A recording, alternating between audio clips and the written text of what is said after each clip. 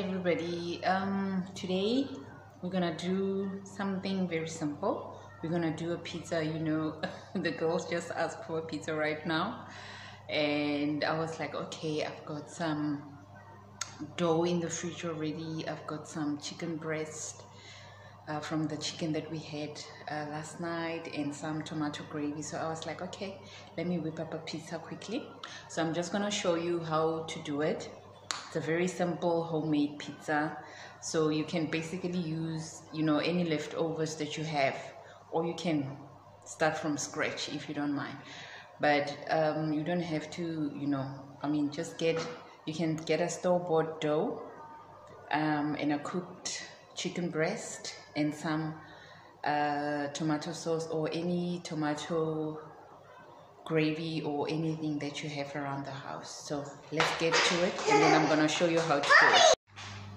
Okay guys here we are in the kitchen. Um, as you can see i already have my dough in my pan. I've just you know flattened it just to fit the pan that i have. And then here it's my leftover tomato gravy from yesterday. And this is the chicken breast it's actually just one breast. You know, I've shredded it and then obviously I've got some cheese as well. So what you're gonna do, we're gonna spread the tomato sauce first and then we're gonna put in the chicken and the cheese. So there guys, you spread your your tomato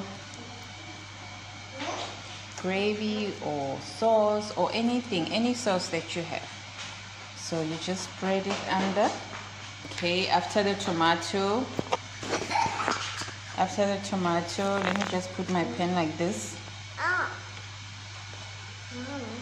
Uh, is our chicken. I'm gonna be very generous hey? And I don't want a pizza that doesn't have enough toppings on on top. But with pizza you can get away you know with just putting a little bit of of topping you don't always have to overfill it but I am gonna pick this one. Okay. There's the chicken. You can just press it. No problem. There's the chicken our chicken and then after this is the cheese. Is our cheese baby. Put on the cheese and then that is our pizza. Done. Okay.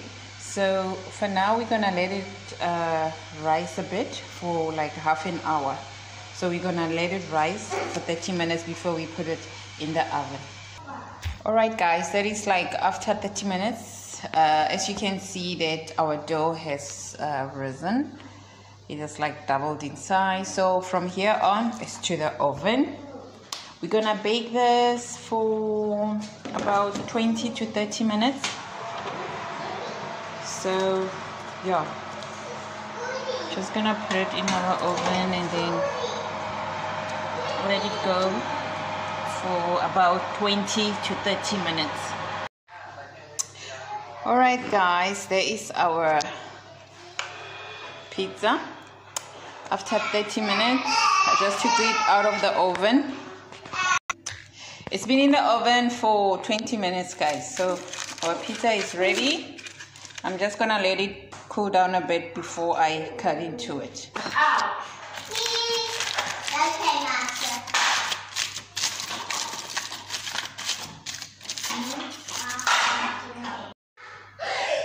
all right guys uh, here is the pizza it's all done Yes, Mama. do you girls want to taste Yep. here's a little piece for you Let's have let's taste. Tepile, here's a little piece for you hmm? there you go Thank you. there's Tepile there's Olorado how does it taste Moxie tastes delicious. Does it taste delicious? You like pizza, ne?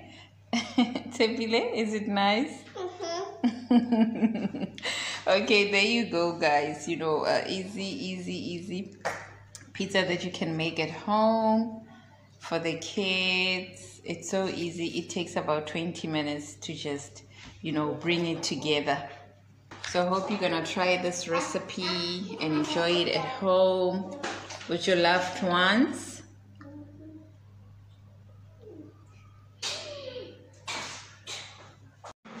So there you go, guys. I mean, it's very simple, you know, to make uh, this pizza at home, um, you know, for your little ones or for yourself. So until next time, don't forget to subscribe to my channel. Check me on Facebook, you know, all the social media. Until next time, guys, hope you enjoy this recipe and you try it out. Until next time, bye.